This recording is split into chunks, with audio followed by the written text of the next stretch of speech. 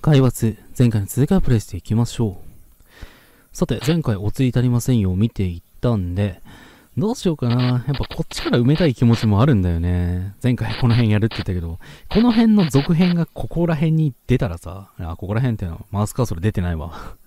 この辺が、まあ、この上下とかに出てきたら、ちょっとあれなので、まあ、こっちから埋めていくか。ねえ、こんな話知ってる？夜子供が一人で道を歩いていると向こうの方から誰もいないのに足音が聞こえてくるの。気がつくと目の前には黒いマントに黒いシルクハット、黒い仮面をつけた男の人が立っている。なんで仮面つけてんのに男だってわかるんだその子の欲しいものを3つあげてどれが欲しいか聞いてくるんだって。何？富、名声、力欲しいものを答えちゃうとお腹を切り裂かれて死んじゃうの理不尽すぎるだろう。そして、何もいらないって答えると、あの世に連れて行かれちゃうんだって、どうすりゃいいんだそんなもの、いやしないさ。まず姿を見せずに近づいてくることなんてできないし、赤の他人が何を欲しがっているかなんて分かりっこない。つまりはこういうことなんだよ。口先女の正体は暴かれた。大人たちは考えたのさ。次は別の都市伝説にしようって。めっちゃ噛んだな、さっき。しかも今度は自分たちが演じなくて済むものをってね。そして選ばれたのがみんなご存知、怪人 Q だったんだよ。なんか聞いたことあんな、怪人 Q。誰かが都市伝説を変装しなくても噂さえ広まればみんな怖がって集団で帰るようになるだろうって思ったんだ。怪人 Q は人間にはできないことができる都市伝説だもの。子供たちの恐怖を煽るには十分だわ。でもね、本当は怪人さんなんていないの？みんな安心してね。でも、うーん、だって、どうするの？君たちの言いたいことわかるよ。怪人 Q がいないっていう確証がないと安心できないよね。大人もよく考えるわ。人間っぽい都市伝説ならこっちも暴きようがあるのに、いないことを証明するなんてできないもんね。悪魔の証明だね。悪魔の証明って言うんだっけ？トイレの花子さんみたいにこちらから呼び出せる都市伝説なら確かめることもできるんだけど。ま、何にしても大人が言いたいことは一つさ。暗い夜道を子供一人で歩かないこと。これさえ守れば嘘でも怪人 Q が出てくることはない。怖がる必要はないんだよ。そうね。怪人 Q の都市伝説は私たちが怖がらなければ自然と消えていこうよ。暗くなったらすぐに帰るんだよ。一人になったりしないようにね。みんなわかった？はーい。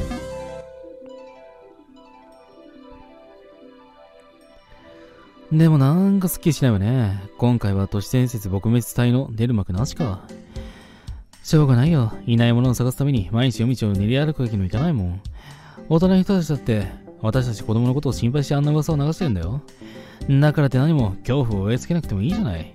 子供は親が、大人が思うよりずっとデリケートなんだから。だからこそ、下級生たちが早く怪人級のことを忘れられるよう、僕たちが元気づけてあげよう。今回の都市伝説に対抗する術は一つ。すぐに忘れることだからね。都市伝説っていうのは、大人が子供に言うことを聞かせるために作ったただの、えー、空想話だ。信じなければいいないのと一緒なんだよ。子供たちが気にしなければ大人たちもじきに諦めて、都市伝説で子供をしつけようなんて考えはしなくなるだろうさ。ちょっといいかなん？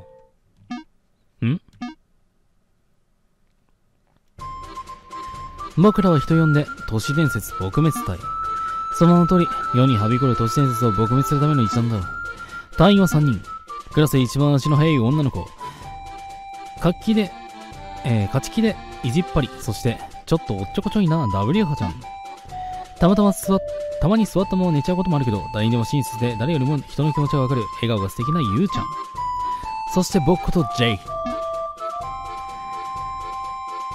家の道場で毎日おじいちゃんの稽古を受けてるから大人や都市伝説がやっても負けないぞ。僕たちは、子供たちを、えー、脅かす、驚かす、都市伝説の正体と正体を解明していく。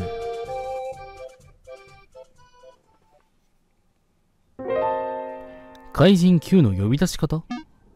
あんの？お前の目が一番怖えよ。私、他の学校の子たちは話で聞いたの。夜道を子供一人で歩いていると出てくるんでしょ？うん。私が聞いたのは違うんだ。出てくる場所と時間が決まってて、呼び出す手順と順番があるみたいなの。怪人 Q を呼び出せる。僕たちが知ってる話とかなり違うみたいだぞ。そういう呪文なんて変だな。これじゃ怪人 Q の独自性が。ぐだぐだ言ってないで。とりあえずまずはこの子の話を聞いてみましょうよ。そうだね。大丈夫だよ。リラックスして。お姉ちゃんたちが力になってあげるからね。うん。じゃあ何から聞かせてもらおうかな。やっぱり、怪人 Q が出現する場所と時間でしょう。呼び出す手順も知っておかないとね。自問で言うのも聞いておきたいよな。一つずつ聞いていくから答えてもらえるかい？わかった。よし、じゃあ、事情聴取開始だ。なんかこの、あれだな。なんか、推理ゲーみたいな。お釣りはもう消していいだろう。場所と時間、君が聞いたっていう怪人今日はどこに現れるんだ？四つ辻って聞いたんだけど、四つ辻？どこのことかわからないんだ。四つ辻何それ？道路が十字に交わっている交差点のことを四つ辻って言うんだよ。そのことじゃないかな。四つ辻か、いっぱいあるだろう。霊道になりやすいとか、神隠しに遭いやすいとかよく聞くな。いや、そうなの？あの世とこの世との境でも言われていて、良くないものが溜まりやすいとか、良くないものって何よ？例えばほら、怪人 Q さんとかじゃないかな。それで、奴が出現する時間帯っていうのはいつなんだい？夕方から夜にかけてって、えー、聞いたよ。なんだっけ？大まか時ってやつだっけ？怪人 Q さんが活動する時間って日が暮れてから夜明けまでの間じゃなかったのかな？そうだね。夕方から夜にかけてとなると、うん。大まが時ってやつだな。大まが時？何それ初めて聞いたわ。昼から夜にかけて移り変わる時間のことだよ。黄昏とも言うんだ。黄昏は、えー、黄昏、つまり、そこにいる彼は誰かという意味で、向こうからやってくる人の顔がよく見えない薄暗い時間帯を指すんだ。そのことから、相手が霊か、えー、あやかしかもしれない。そんな存在に出会う。えー、不吉な時間を大きくまがまがしい時で、大まが時という意味だったんだ。説明がなくてよくわかんなかった。幽霊が出やすい時間ってことさ。だいたい、今の5時から7時ぐらいかな。夏場か。なるほどね。最初からそう言いなさいよ。大間が時に四つに行くと怪人 Q さんが出てくるんだね。そう聞いたよ。呼び出す手順。怪人 Q を呼び出す手順を教えてもらえるかな？わかった。えっとね。まず怪人 Q は大人がそばにいると出てこないんだ。はあ。ロリコンってこと？子供を襲う都市伝説は大体そうだね。大人では見られないのがほとんどだ。それで？道路、えー、道の脇に立って後ろを向くの。そしたら、道路を股から覗くんだ。ちょっと待って、股から覗くってどういうこと？いや、あれでしょ？あの、前からグッて。あの、そうだよね。前屈、前屈じゃないけど、前かがみになって股の間から顔を出すの。それじゃ景色は上下逆さまになっちゃうじゃない。うん。そうしないといけないんだって。変なの。手順ってそれだけ？確か4分44秒股から覗き続けるんだ それがあやかしだろ。もう怪異だよ。頭に血が伸びそうだな。4が並ぶ時間っていかにも都市伝説らしいな。そうだ、あのね、この時絶対に親指を隠しちゃいけないの。なんか混ざってない？それ、あれじゃない？霊柩車とかじゃないの？親指どうして？4分44秒経つとね、目の前の道路に必ず、霊柩車がやってくるんだよ。そ、そんな子供の都合に合わせて来るわけないだろ。みんなまず親指を隠しちゃうでしょ？でも怪人 Q に会うためには親指を隠しちゃいけないの。うん。確かに言われないと条件反射で隠してしまいそうになるね。全然気にしたことないわ。そういえば、どうして霊柩車が取るときは親指を隠さないといけないの？なんだっけ？親の死に目に会えなくなるとかそんなんだっけ？よく聞くのは、親の死に目に会えないとか、親が早死にするとかかな。親に不幸が来るから親指なの？親指はね、魂が出入りする場所って言われてるんだよ。え？霊柩車が取るときは、お葬式のときは、親指を手の中に隠すことで、死者の霊が入り込まないようにするんだ。へえ、知らなかった。じゃあ、親指を隠さないってことは、怪人 Q さんの幽霊が自分の中に入ってきちゃうの？私が聞いたのはそういうんじゃなかったよな。親指を隠す行為には霊をこちらに干渉させないようにする効果もあるんだ。だから親指を隠さないとなると、怪人 Q がこちらに干渉するのを許してしまうことになる。うーん、あんた物知りなのね。これでも、都市伝説撲滅隊のリーダーだからね。今のはむしろ都市伝説を信じてるみたいな口火だったけど、とんでもない。敵を知るにはまず徹底的に調べ上げないといけないからね。もちろん、知識あるだけで、親指を隠さないと親が不幸になんて迷信信じちゃいないよ。もっとごめん。話がそれたね。それで、呪文？怪人 Q を呼び出すには呪文が必要なんだよね。そうみたい。ねえねえ、どんな呪文なの？油かたぶら、オープンセサミ。えー、みたいなやつ？きっと花子さん、トイレの花子さんと一緒だよ。怪人 Q さんに呼びかけてこっちに来てもらうんでしょ？ちょっと違うかな。私が聞いたのは、4444、お前は死に囚われる。こう唱えるんだって。4?4 ねえ、いかにも不吉な数字。4、つまり死か、死に囚われると変換してもいいのかな？うん。大体見えてきたぞ。本当？怪人級は本当にいるの？そんなわけないよ。話を聞く限り、その怪人級には、怪人級らしい要素が何一つないんだ。私もそう思う。だから君が聞いた話は怪人 Q とは関係ない単なる作り話さ。ああ、その話は次あって、怪人 Q が出てきた後のことなんだけど。なんだって？話してもらおうじゃないの。聞いてくるんだよ。欲しいものを3つあげてどれが欲しいって。これって怪人 Q と同じだよね。うん、確かに。欲しいものを答えると殺されて、いらないものって答えると、穴に連れて行かれちゃうの。うん、途中までは怪人 Q さんのお話と全然違うのに、どうしてここだけ同じなんだろう。なるほど。そうか。怪人 Q が最初に目撃されたのは40年前だ。そんなに？時の流れで都市伝説に尾ひれがついちゃったのかもしれない。ま、何しても、こっちから呼び出せるってんなら、都市伝説撲滅さんに出番ね。大間が時に、四つ四つ筋を股から覗いて、4分40秒待つと出てくるんだね。奴が現れることはない。都市伝説なんて架空の話なんだから。でももし、もしだよ。本当に怪人、怪人 Q さんが出てきたらどうすんの？欲しいものを答えてもいらないって答えても死んじゃうんだよ。もし万が一そんなことになったら。そうだね。口先女にべっこ飴やポンワードが聞いたように、都市伝説には大抵対抗できる方法があるはずなんだけど、私がテレビで聞いたのは姿が見えないのに、近くで足が聞こえたらとにかく逃げるだったわよ。逃げるか。シンプルだけどそれしかないかな。私足が遅いのに大丈夫かな私が手引っ張ってあげるわよ。そういうわけだ。君、情報くれてありがとう。僕たちが責任を持って怪人 Q なんかいないってことを証明してみせるよ。うん、頑張ってね、お兄ちゃん、お姉ちゃん。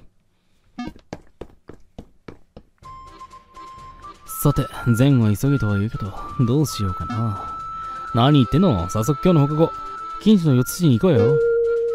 それが、文句でもあんの？だって、言ったでしょ怪人 Q が出てくるのは5時か7、5時から7時だって。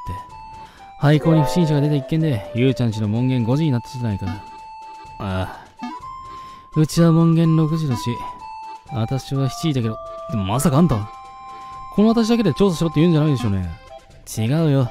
どうすれば、3人一緒に行けるかなって考えてたんだ。じゃあ、こんなのどうかな？みんなで W ハちゃんの家にお泊まりしてることにするの。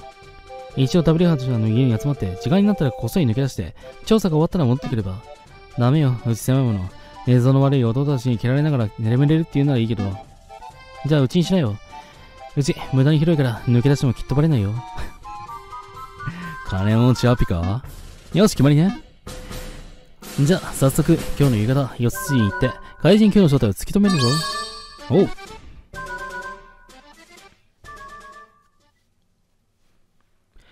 立ち振る舞いはそのものなのに、呼び出し方がまるで違う都市伝説か。僕の言ったように40年もの間に尾ひれがついてしまっただけなのかそれとも。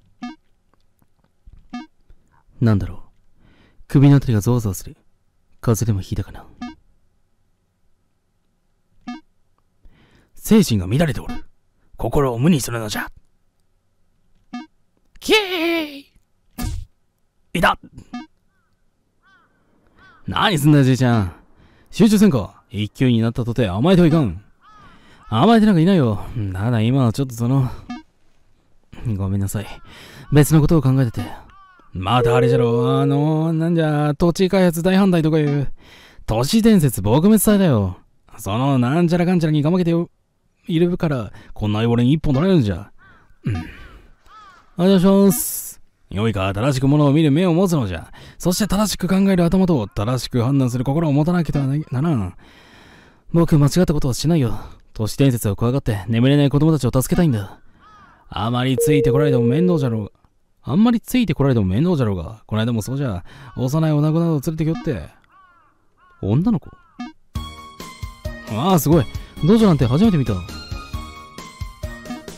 誰じゃ、今稽古中だぞ。勝手に入っていく、入ってくるんじゃない。あ、ジェイタラ変な格好してる。これは道着って言うんだよ。いらっしゃい、二人とも。稽古はまだ終わってなんぞ。めちゃくちゃとおしゃべりなど。ああ、あの、突然押しかけてすいません。私、ジェイ君のクラスメートで、その、今日こちらでお泊まりを。なんじゃと？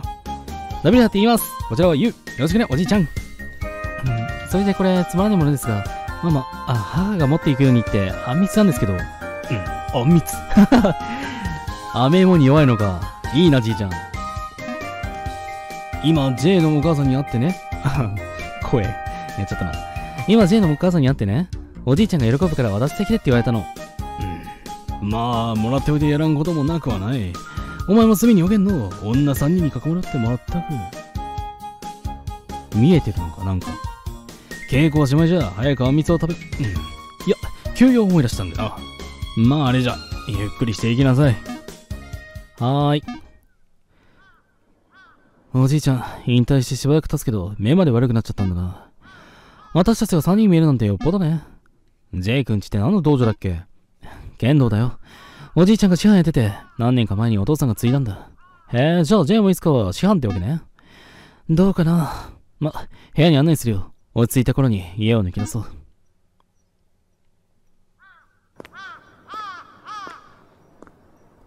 はい。ということで、じゃあこれ一旦区切りましょうか。次回、都市伝説の検証からやっていきましょう。それでは、ご視聴いただきましてありがとうございました。よければ次回もよろしくお願いいたします。